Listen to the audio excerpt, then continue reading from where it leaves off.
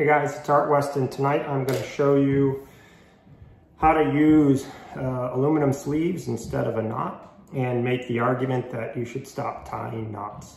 Um, the basic premise is that knots inherently uh, create a weakness um, in the line relative to the main line's um, strength.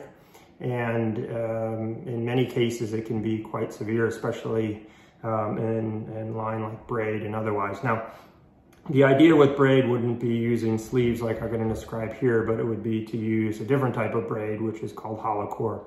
I've made other uh, videos on that uh, whereby you can create a loop and that loop uh, represent 100% strength uh, for connections to lures, hooks, and otherwise. Um, but for nylon and, and, fluorocarbon type of line, monofilament and copolymer, um, the best way to go uh, is to use aluminum sleeves. Now, um, for those that have never used um, sleeves before, um, it might seem you know a bit uh, unpractical uh, or ridiculous or whatever, but they're just these little aluminum sleeves and you have to use a crimper, uh, but it's actually quite easy.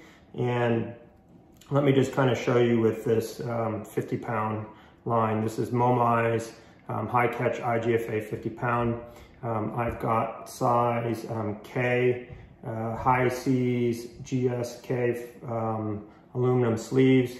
Um, anyone that's really interested in trying to pair up your sleeves correctly with your line, just uh, drop me a note and I'll help you out. the other little thing is, uh, because aluminum does not damage the line, um, even if you squeeze the crimpers basically as hard as you can, um, the significant force as your line gets stronger and stronger can just pull the line out of the sleeve. So um, for the most part, I would always recommend doing two sleeves. Um, I'd actually increase that to a third if you're gonna get to about 80 pound class line um, and then maybe a fourth um, all the way up to 130 pound. Um, but anything 50 and below two is um, plenty. So anyway, you put the two sleeves on your line. Got it? Um, you put your line um, through your lure or your hook. You fish the line back through the sleeves. These happen to be uh, kind of a perfect fit. So sometimes it takes a little bit um, to get him through.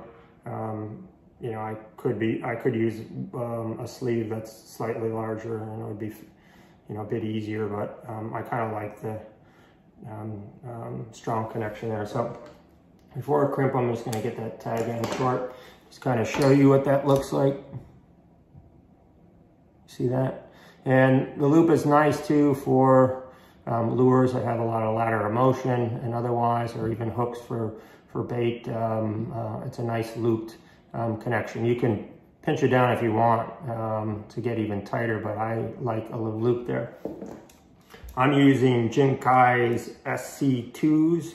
Um, these are my favorite crimp uh, tool. Um, and there's two sizes. There's a small and kind of a, a medium. Small is on the bottom towards the handle and you want to use the um, smallest when you can for crimps um, and give it a good squeeze. You want to apply the crimp in the, in the crimper in the middle of the crimp. Again, good squeeze. If you, if you crimp on the ends, um, there's a chance that it could cut into the monofilament. Um, again, aluminum um, is a material that, that tends not to cut um, the line, but it's a good idea just to practice um, applying the pressure in the middle of the sleeve.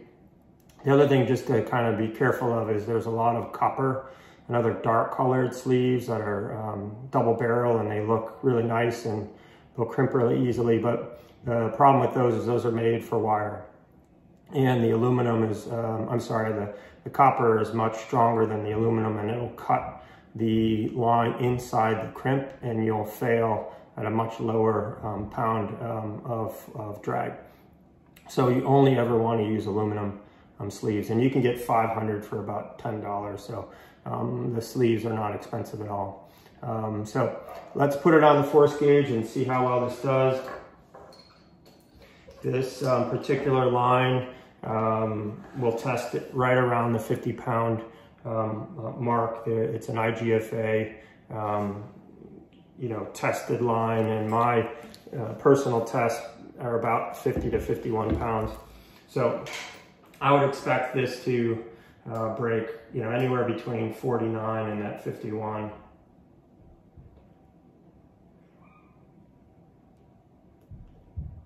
Just setting up the baller here to do the test.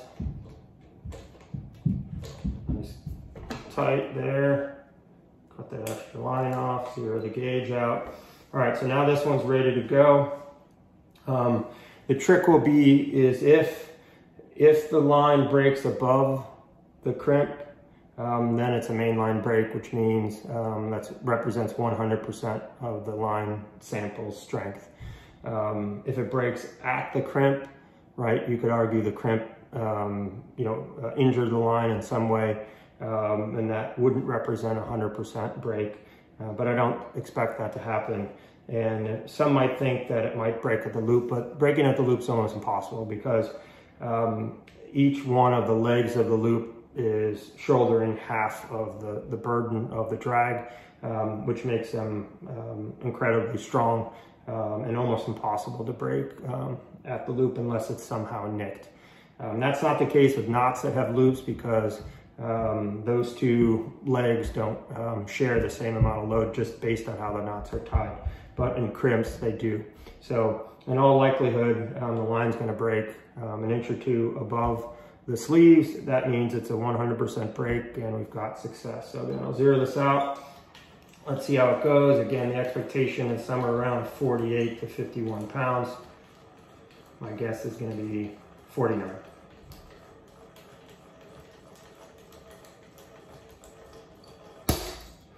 Not too bad, 49.4. See that? Now the question is, where did it break? I'll get it off the device. And lo and behold, it broke um, above uh, the sleeves. And this was the original tag end that I cut off. So it broke about an inch above, which means that was a mainline break. So this is equivalent to the 100% strength of the line. Um, and you'll get that every time if you do this um, correctly. And so it's hard to argue to do anything but sleeves if you've got the tools and you got the crimps and you got the method and you do it right. Um, you know, I, I, think for convenience or other practical reasons, you know, knots can be just fine. But, you know, if you want kind of everything going for you um, and you've got um, tough line for a reason and you want to get the maximum benefit out of it, you know, start to think about using crimps. Okay, thank you guys.